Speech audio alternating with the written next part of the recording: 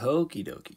In this problem, they ask which answer choice is the correct indefinite integral for the following function. So we want to sort of apply what we talked about in 351c.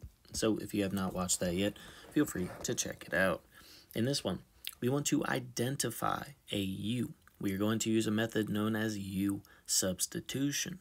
So the u will simply always come from what's inside the parentheses. Let's see if that applies to the others I have pulled up.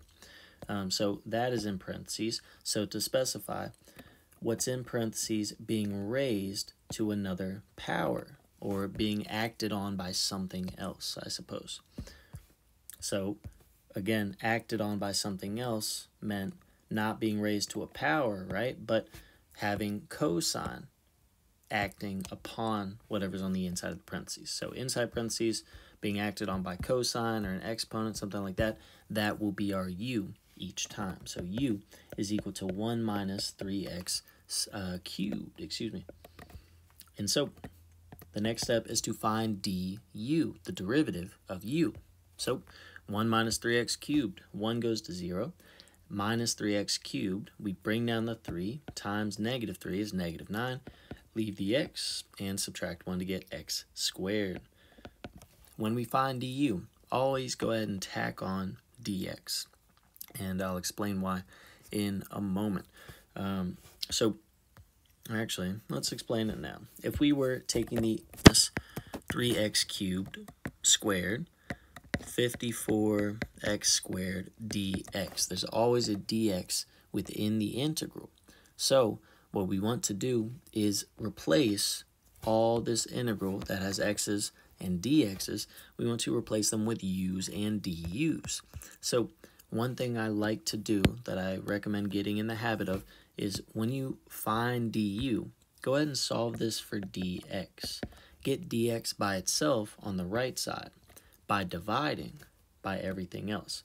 So du divided by negative 9x squared that'll get this dx on the right side by itself. Now, we have something to plug in for u, or for, I guess, 1 minus 3x cubed, we will plug in u, and then in place of dx, we will plug in du over negative 9x squared. And just watch and see what happens. So now, we have, again, all of this is u, so we'll call this u, and it's being squared, so we'll say u squared. We'll leave the 54x squared for the time being. Then, when we substitute in for our dx, we will use this, because we know this is equal to dx, so we'll have du over negative 9x squared. Now, the idea of doing this method with the dx is that again, we want all of this integral with x's and dx's to transform to be in terms of u's and du's, which means we can't have x terms. But fortunately, the way this works out is that x squared will cancel with x squared. And so all we're left with, let's bring these constants, 54 over negative 9, sort of out to the front. And we will have 54 over negative 9, but 54 divided by negative 9 is negative 6. And then we'll keep the u squared and the du, so it simplifies to something like this. And so this is the integral we're trying to find, and it's much easier, right? So now let's find the antiderivative. We leave the negative 6, we keep the u, but we add 1 to the exponent to get u cubed, and then divide by that same number we just found, 3. And so if we want to, we could go ahead and plug in, actually, let's go ahead and simplify this. 6 over 3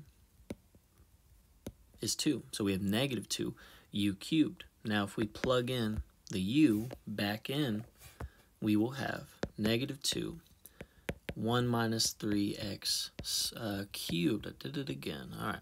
And then plus c. So the biggest thing, the biggest difference to find in this case excuse me, is the coefficient, the negative 2, because that will decide what our answer will be. So, a lot of stuff going on here. To break it down again, find u, it's always on the inside of something being acted upon by something else. Find its derivative, tack on dx, solve for dx, get dx by itself, and then replace this, or maybe set up what we have here within an integral with dx on the end, and then sub in the inside for u, sub in the dx with this stuff, and then cancel out the x terms. You know, find this integral, um, or like identify the integral in terms of u's and du's, then find its antiderivative, plug in the u back in, and find our answer. All right, Let's see how fast we can do this one. I'm going to set this up as an integral in a cheap way like this, and then we will find u, x to the fourth minus 7 is on the inside, being raised to the third. Let's take its derivative, 4x cubed. We tack on dx. We're going to solve for dx by dividing du by 4x cubed. And then we will replace the u with, or we'll replace the x to the fourth minus 7 with u, and then the dx with du over 4x cubed. So we'll have u to the third. We'll leave the negative 20x cubed for the time being. dx we will replace with du over 4x cubed.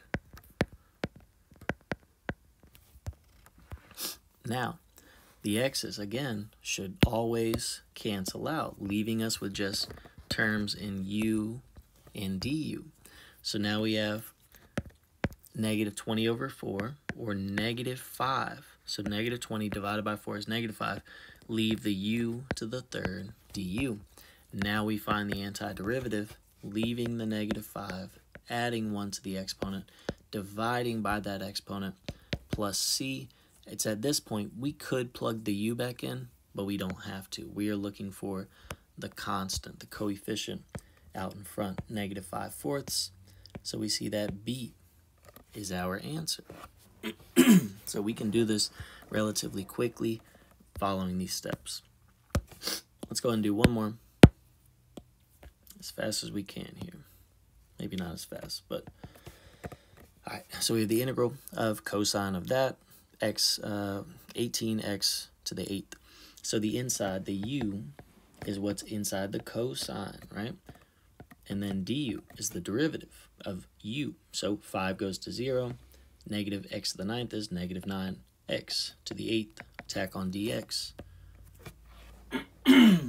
Goodness. Excuse me. Uh, dx. If we solve for dx, we get du over 9x to the eighth. du over negative 9x to the eighth. And now we will sub in u and dx. So I'll do it down here. Give us some space. We'll have cosine of u. Keep the 18x to the 8th. Plug in the du over negative 9x to the 8th in terms of, or in place of dx. We can cancel the x to the 8ths. We are left with 18 over negative 9. That is negative 2. And then cosine of u du. So then we take the antiderivative. We have negative 2, and then the antiderivative of cosine is sine. And so again, we could sub in the u back in, but negative 2 is really all we were looking for. So it looks like option D is our answer. I know this stuff is new and unfamiliar, so it may be confusing, and I could have even missed an important explanation. I'm not sure, just because I'm so used to it. But if you have any questions, please let me know. Hope this helps.